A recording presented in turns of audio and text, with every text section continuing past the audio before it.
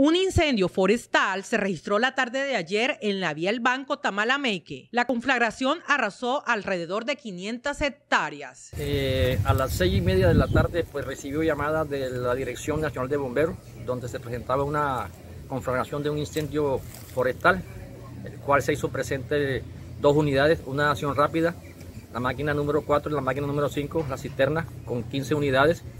Eh, la verdad que la situación era bastante preocupante se hizo toda la logística para llamar a CITEL, Bogotá, sala de crisis. Eh, el presidente de la Junta Departamental del Cesar también tuvo pendiente, el doctor Carlos, y se coordinó porque el incendio era de bastante magnitud para poder traer el helicoportado con Bambi. Se hizo todas las gestiones, se trabajó hasta las 12 y media de la noche, presencia de la alcaldía municipal, presencia de la defensa civil y parte de ciertos habitantes de la finca, donde hicimos un balance exhaustivo y la verdad que era preocupante. Se suspendió la operación a las 12 de la noche, nuevamente se reinició a las 4 de la mañana, a las 5 y media pues afortunadamente pues se totalizó, finalizó todo el, todo el incendio, solamente encontramos tres puntos calientes hicimos la totalidad de, una revisión exhaustiva donde hubo afectaciones de fauna, flora. Eh, la verdad que es lamentable, aproximadamente se quemaron entre 500 y 600 hectáreas.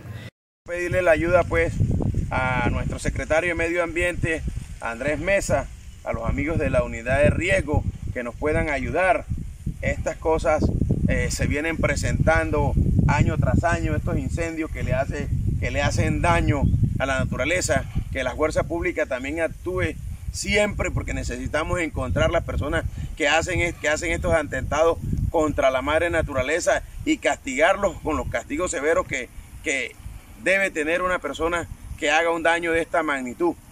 con esto quiero decir que voy a quedar con unos ganaderos afectados, que voy a quedar con unas áreas de terreno afectadas por esto y quiero pedirle al gobierno pues departamental y nacional que eh, siga desde el Congreso implantando castigos y multas severas para quien haga esto, que nosotros podamos encontrar con la fuerza pública en fragancia.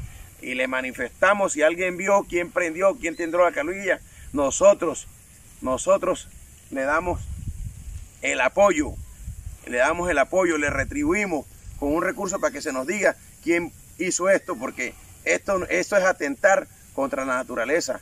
Y la madre naturaleza nosotros tenemos que cuidarla, tenemos que velar por ella, tenemos que, respetarla. De esto vivimos, de nuestro, de nuestro aire, de nuestro ambiente. De esto viven la familia, de esto viven los reptiles que están, que se quemaron acá, en esta zona, babilla, iguana, lobo, galápaga, ingensa, todos estos animalitos, incluso aves que también se queman, que no alcanzan a volar del nido. Una institución que no se detiene, que evoluciona, que ha enfocado todos sus esfuerzos pensando en tu futuro.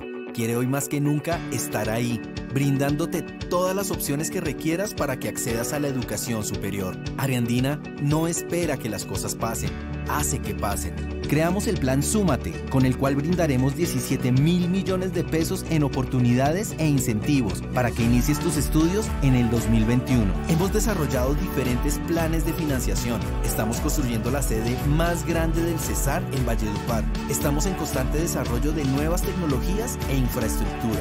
Por eso y muchas cosas más, podemos afirmar que nada nos detiene.